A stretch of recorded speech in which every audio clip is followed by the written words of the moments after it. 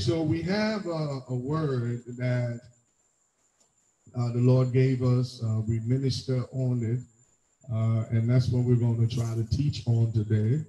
It's uh, entitled "The Stick Was a Snake." Amen. Uh, the stick, the stick was a snake. Amen. Uh, the reason we're doing this now is because uh, the word of God declares that faith comes by hearing and hearing by the word of God. Amen. All right, so we'll be coming. Uh, it is base text is Acts chapter 28. Amen. Acts chapter 28, and we'll be looking at uh, verses 1 to 6. Amen. Acts chapter 28. Amen. Verses 1 to 6. Amen. Okay. Uh, let's read. For, first of all, let's go to the Lord and pray. Father, we just thank you for your for this time in your presence. Daddy, we thank you for your word. Lord, uh, you said that we should learn of you, uh, that you are meek and lowly of heart. And so, Father, we come that you, Lord, will teach us how to be meek and lowly of heart. Father, we hide ourselves under the blood of Jesus, Lord. We say, let no flesh glory in your presence, Lord. We just bless you that you alone are God and God all by yourself. Thank you, Lord, for each and every one that is under the sound of our voice, even the ones that are watching uh, via the internet and the ones that will be watching later. Bless us all now, Lord. In Jesus' name we pray in the hands of God. Say, thank God. Amen. So Acts chapter chapter 28. And I'm reading from the King, the New King James Version. Amen. I'm reading from the New King James Versions. And uh, Dr. Luke will write saying, Now when they had escaped, they then found out that the island was called Malta. And the natives showed us unusual kindness for they kindle a fire, they kindle a fire and made us all welcome because of the rain that was falling and because of the cold. But when Paul had gathered a bundle of sticks and laid them on the fire, a viper, a viper uh, a viper came out because of the heat and fastened on his hand. So when the natives saw the creature hanging uh, from his hand, they said to one another, No doubt this man is a murderer, whom though he has escaped the sea, yet justice does not allow to live. But he shook off the creature into the fire and suffered no harm. However, they were expecting that that he would swell, would swell up or suddenly fall down dead. But after they had looked for a long time and saw no harm come to him, they changed their minds and said that he was a God. Amen.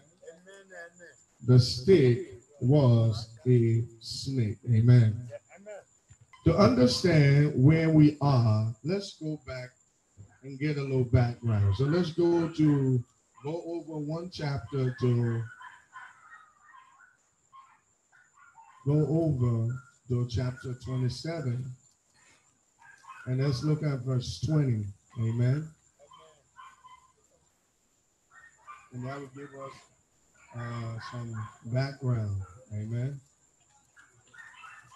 Verse 20 says, Now, when neither sun nor stars were appear for many days, and no small tempest beat on us, all hope that we would be saved was finally given up. Amen. Amen. After, but after long abstinence uh, from food, then Paul stood in the midst of them and said, Men, you should have listened to me and not have sailed from Crete and incurred this disaster and loss. And now I urge you to take heart, for there will be no loss of life amongst you, but only of the ship.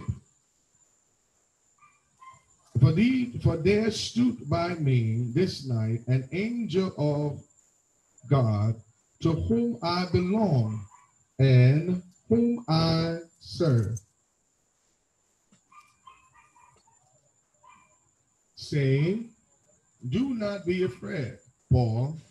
You must be brought before Caesar. And indeed, God has granted me all those who sail with me. And therefore, take heart, men, for I believe, God, that it will be just as it was told me. However, we must run aground on a certain island. Amen.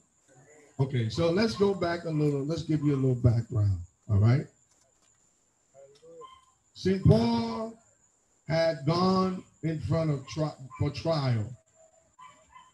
Paul, who's the apostle to the Gentiles, amen, had had had trial and uh, was about to be free.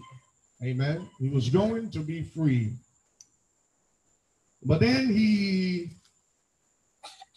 uh, uh, was told that was going to free him as because he was also he was a Hebrew Benjamin tribe, right? But he was a Roman citizen as well. Amen. So it's like you were born in Trenton, New Jersey, right? Uh, amen. Or you were born, uh, let's say it this way. Let's say it this way. You were born in, uh, you were born in, what's the place name? You were born in Hawaii. Amen. You're born in Hawaii, but you are what? A U.S. citizen. Amen.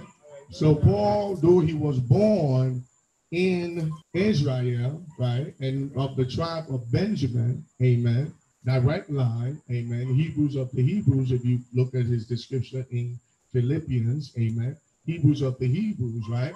He was uh, uh, uh, also a Roman citizen. Uh, there was a time that he was out and uh, doing ministry, and he got beaten. Uh, wasn't giving him any trial. Amen. And then at the morning, they told him that he can go. Amen. He was free to leave.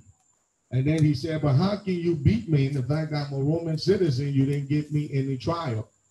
And they got afraid and told him, he said, Leave. And he said, No, no, no, you're not going to let me leave in the night so you can sneak behind me and kill me.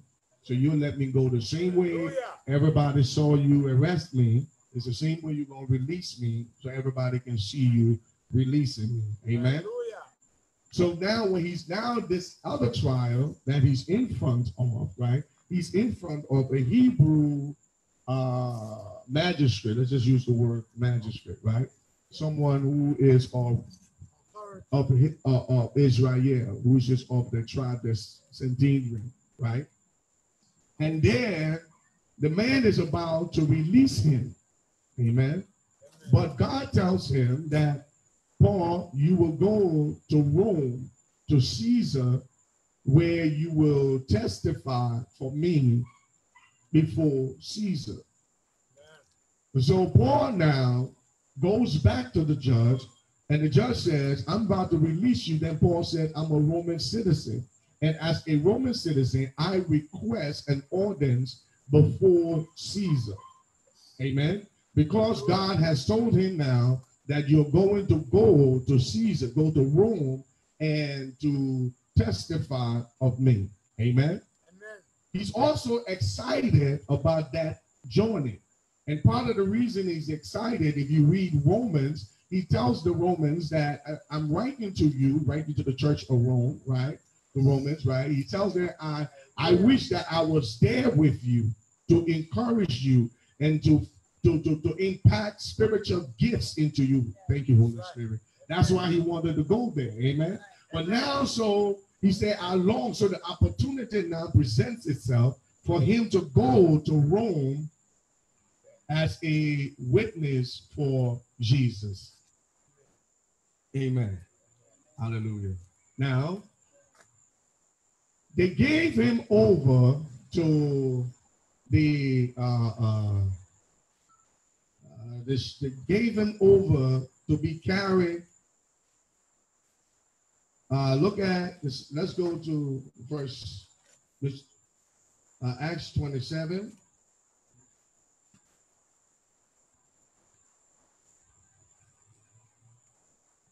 Uh, I think it is the there is a place there where they talk about